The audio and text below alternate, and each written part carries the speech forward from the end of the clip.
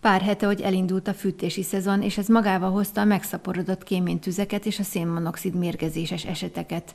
Ezek a káresetek jellemzően abból adódnak, hogy nem megfelelően használják a háztartásokban a tüzelő fűtőberendezéseket, valamint az égés termék elvezető rendszereket. A helytelen használat és a nem megfelelő karbantartottság miatt pedig egyre gyakrabban fordulnak elő lakástüzek. 2022-ben 89 lakástűzhez vonultak a tűzoltók, míg szemben az azonos időszakot vizsgálva összesen 71 tűzesethez kellett vonulni a Tolna megyei egységeknek. Itt 2260 négyzetméternyi terület lett a lángok martalékává idén, míg tavaly az azonos időszakot vizsgálva az 1240 négyzetmétert jelent. Összesen 2022-ben több mint 260 fecskendő vonult ezekhez a káresetekhez, míg tavaly ez 212 tűzoltójárművet jelentett. Itt most érzékelhető, hogy minimálisan megnövekedett a tűz, tűzesetek számait, ami a lakásban fel, fel előfordulnak. Ennek ugye elsődleges tényezője most itt a fűtés időszakban, ezt nem is kell említeni. Itt a különböző kéménytüzek, a fűtés hibájából eredődő problémák, tehát ezeket kell elsődlegesen így átvizsgáltatnunk. Célszerű otthon ezt itt rajzsomba venni, hogy pontosan milyen fűtőeszközünk van, ezen milyen teendőink akadnak. Itt a szilárd fűtőberendezések esetében, vagy akár a gáz üzemű tüzelőberendezések esetében is magát a készüléket is célszerű éven mindent átvizsgáltatni. Folyamatosan a friss oxigént biztosítani kell az égéshez, tehát mind a gáz, mind a szilárd tüzelésű fűtőberendezésekről legyen szó, a megfelelő húzatot azt a lakásban biztosítani kell. Nyilván a kémény az a másik ilyen eszköz, egy épület technikai megoldás, ami az égés terméket majd el fogja vezetni az adott légtérből. Ezért a tüzelőberendezéseket, illetve kéményeket rendszeresen ellenőriztetni kell. A gázüzemű készülékek esetében két évente célszerű a kéményseprőipari tevékenységet ellátó csoportot felhívni. Ezt a 18-18-as telefonszámon a 9.1-es menüpont alatt meg lehet tenni, míg a gázüzemű készülék esetében, tehát ott két évente célszerű, a szilárd tüzelés esetén pedig évente érdemes végrehajtatni gyakorlatilag a kémény kitakarítását is. Ez fogja nekünk biztosítani azt, hogy az oxigén majd a megfelelő húzatnak köszönhetően végig tud szállni, és így a minden égés termék gyakorlatilag a tökéletes szinte a, köz, a tökéletes közel formában el fog tudni majd távozni az adott légtérből, nem fog visszaáramlani a lakótérben. Itt ugye a füst az, ami problémákat jelenthet, például ilyen értelemben az egészségre is nyilván ennek kártékony hatása van.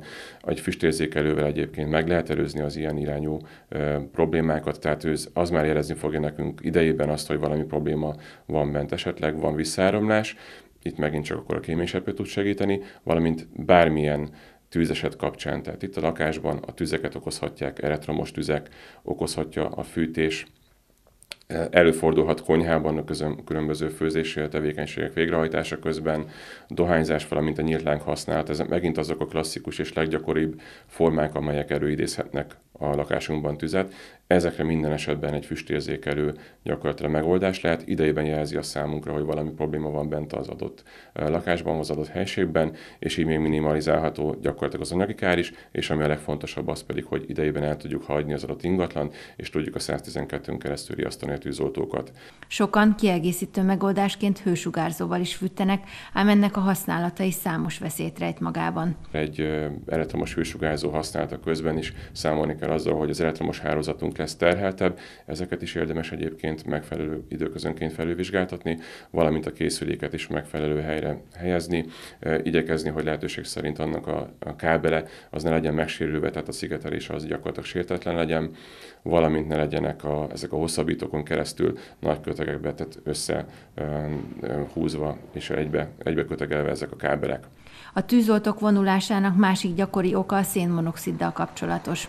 Ezeket azokban a háztartásokban lehet kimutatni, ahol a lakók gondoskodtak arról, hogy a szénmonoxid érzékelő készüléket beszerezzenek. Itt idén Tolna megyében 16 esetben kellett vonulnia már a tűzoltóknak, míg tavaly 11 alkalommal vonultunk hasonló esetekhez. Nyilván ez is egy emelkedő számot mutat, itt ez viszont nem feltétlen egy, egy negatív statisztika, ugyanis abszolút az figyelhető meg, hogy egyre többen igyekeznek ezeket az eszközöket beszerezni és telepíteni a lakásba, ezek első alkalommal fogják nekünk érezni, mert nagyon kicsi koncentráció esetén is azt, hogy a veszélyes gáz az bizony megjelent a légtérben, és idejében felhívva a figyelmünket arra, hogy hagyjuk el az adott lakást vagy az adott házat. Ez a láthatatlan gyilkos az egyik legagresszívebb, gyakorlatilag ilyen szinte veszélyforrás, ami az életünket, életünkre is, hát sajnos így itt akár tragédiával is végződhetnek ezek az esetek. Itt öt alkalommal idén csak fürdőszobában jelentkezett ez a, jeleztek ezek az eszközök, ami azt is mutatja, hogy a vízátfolyós melegítők, tehát fürdőszobában, de akár egy konyhai vízátfolyós melegítő is, és ezek a nyílt égésterű vízátfolyós melegítőkre gondolok, ahogy az örlángot voltak éppen egy kézzel meg lehetne érinteni, tehát szabad szemmel látható. Ezekre a készülékekre kell gondolni, és itt érdemes így a preventív jelleggel gondolkodni azon, hogy ezt hogyan is tudnánk így elkerülni.